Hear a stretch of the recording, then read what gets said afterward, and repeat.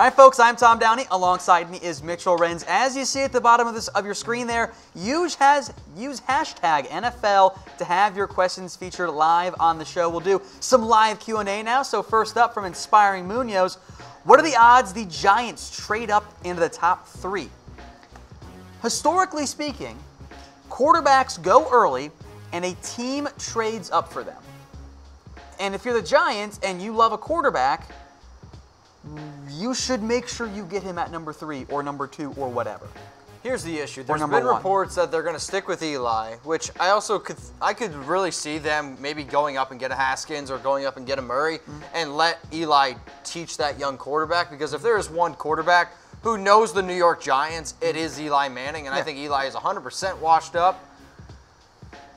But man, if they don't, if they stick with Eli again, I am going to get so frustrated because that offense has so much talent and Eli's noodle arm is just going hmm. to Oh, Yeah, I know. You don't like it. School. The Falcons draft a running back. They took Ito Smith last year.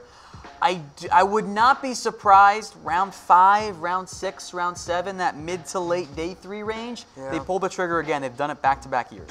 Yeah, but reports are that they do really like Ito Smith, and he's going to get more work. Now, obvious, Tevin Coleman's going to leave. I think going to test the free agency market, Mm-hmm. go sign elsewhere. But again, it's still Devonta Freeman, and I will say I think the Falcons, even though they had a bad year, can Mm-hmm. go a bunch of different ways because that team is actually pretty well put together. It's just Mm-hmm. injuries just kill them. especially on the defensive side of the ball. Absolutely. The offense should be really good again next year. And again, that, with that defensive side of the ball, they do plan on tagging Grady Jarrett. That's going to cost a significant amount of their cap space, which in the end ties it all back in. I don't think you're going to see Tevin Coleman back in Atlanta. Yeah, and uh, I don't blame him. I think Tevin Coleman is an every down running back. The question for you, Mitchell. Uh-oh. In order with no trades, who do you think the Raiders will draft? So your top four big board. Oh, Tanner. Well, guess what, Tanner? How about this?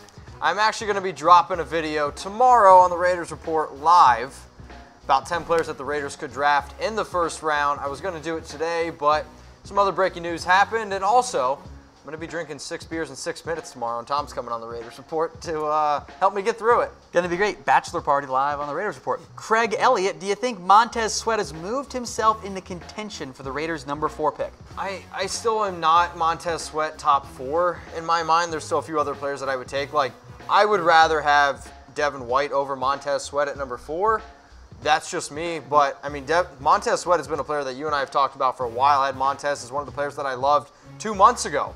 And you loved Montez Sweat too, but we never thought, I think, that he would be a top five. He, as we'll have a combine video here in a minute, uh, he was a top 20 guy for me pre combine. I think he has absolutely moved himself into consideration for top 10, top five. So if there are no quarterbacks before that. I will say the one thing that will caveat. help him is Mayock and Gruden. They've said multiple times that they like taking players from the Senior Bowl, and he absolutely tore up the Senior Bowl. they saw him there. Yeah. I think it makes quite a bit of sense there. Christian Wilkins to the Colts, I think it makes sense. I don't know if he's going to be there.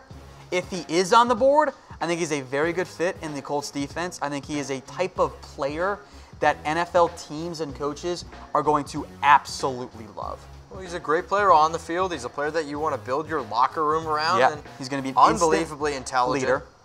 He's he's a big body, and that's something that the Colts need for And that he's a solid athlete too. I, I am a big fan of Christian Wilkins. I think he goes round one, helped his stock out. Indianapolis would be a fantastic landing spot for him in the end. Some more draft questions here from Ferocious Film. Who should the Texans draft at number 23 overall? It's simple. The best offensive lineman on the board. Doesn't matter which position, just take it. Yeah, it's probably a better answer. I was going to say. I mean, that's probably the Knowing only Houston, thing that they need, a cornerback. That's what they'll do. or safety if they let Mathieu go. Nah, they drafted Justin Reid last year, so. That's true. No, but I think it absolutely has to be an I mean, you got to build around your most important player, which is Deshaun Watson. Yeah. Also, you need to figure out what you're going to do at running back. the, but the not- not offensive enough. line was not good last year. So I don't care if it's a left tackle or a right tackle. I don't care if Jonah Williams somehow falls to you, or if it's a guard like Chris Lindstrom, or even a center like Garrett Bradbury, or whatever tackle still on the board could just. I doubt, I doubt Jawaan Taylor's there, Cody Ford, whatever. Just take one and start him, and then build your offensive line afterwards. You're naming people, Tom. I know. Go follow him, draft stuff, walk going down it. All right, from Christian Meza, who will take DK, the monster wide receiver? I think any number of teams could strongly consider DK. Where do you think Metcalf. he's going to go? Like, I mean, I think he is a top 10 pick. Wow, I mean, you run what a 4.3 combine, 1.6% body fat. We'll get to DK more in depth with a minute with the agility drills and how it wasn't the best, but he's if he's there at nine for Buffalo, do it. Oh. He is a great fit with Josh Allen. Oh. Just run deep. You run deep and fast, I'll throw it far and high. That offense works at that point. Oh, Josh Allen. T O I 9 I D E. Ah, well, I can't read it. All right, Packers need to trade up to get an elite defensive player and help them out. And this is an idea that you actually suggested, Mitch. Yep. So here it is. Packers receive the number four overall pick, and the Raiders get number tw- number 12 and 30. It works out pretty well in terms of the trade value chart. Yeah. So now here's the You thing, right? The only I'll do this if Josh Allen, Quinnen Williams, Nick Bosa are off the board. If those three Okay. players are off the board, the Packers come knocking on my door, then yeah, I would probably do this. Then the Raiders have four picks. They need to rebuild that team. Mm-hmm. They have a lot of then. I mean, you're 4-12. You need as many picks and players as you possibly can get. Mm-hmm. However, Quinnen Williams, Allen, both are on the board. Then I don't do it. What teams do you think have a chance to trade up? He means earlier in the NFL draft. It's the teams that have a bunch of draft picks. The Patriots can be aggressive. Okay. The Texans should be aggressive, by the way. They're sitting right now at number 23, and they have number 54 and number 55. They can get into around the top 15. They should do it for an offensive lineman. Houston should be very aggressive. I mean, Oakland also any team that needs a quarterback. Like any team Yeah. that needs a quarterback, the Redskins, the Bengals, the Dolphins, uh, the Giants, the Broncos, like all these teams that have been rumored for a quarterback. The. Jags even. The Jags. Heck, the Jags could still take Haskins. They really could. I, it, wouldn't, it wouldn't totally surprise me. Maybe they want Haskins learn under Foles, but I need to see the contract for Nick Foles. If it's like a Case Keenum type structured deal, then sure. Which I don't think it's going to be. I think it's going to be more expensive than that. Nacho Cheese asking the Texans get Bell or Noah Fant. He means F A N T. Um, maybe Bell. That's one we had discussed before. I don't think they need to be investing in a tight end right now. I like Noah Fant a lot. I think he could be there for them at 23.